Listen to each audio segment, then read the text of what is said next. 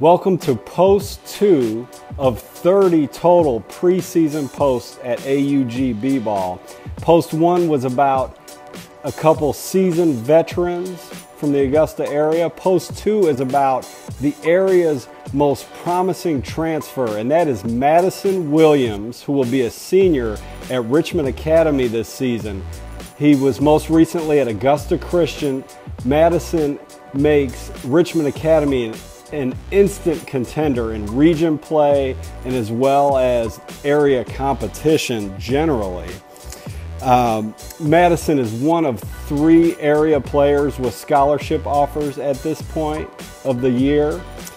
Madison's extremely athletic. I saw him this this summer. I didn't get it on film, but I saw him this summer do a euro step and dunk the ball off one foot, something that I just haven't seen from a guy his size. And he's also a very good shooter and just an explosive player. Richmond Academy is well positioned to take advantage of Madison's strengths.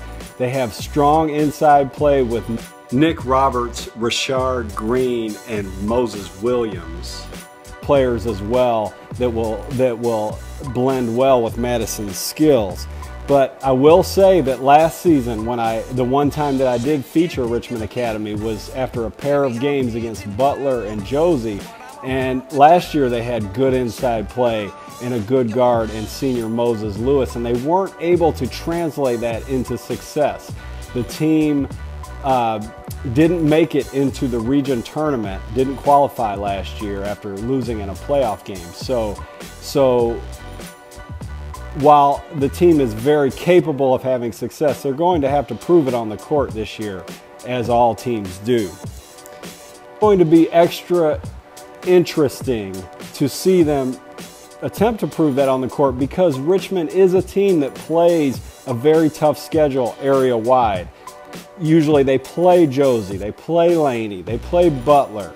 Uh, I think they play Glenn Hills on a regular basis. So we will be able to see very early in the season whether or not Richmond is able to translate the talent to wins on the court. And, and I see no reason why they will not be able to. Um, I'm going to put them probably in the top three of my top 10 area preseason poll. And um, I can't wait to see the guys uh, execute on the court this year. So that does it for post number two.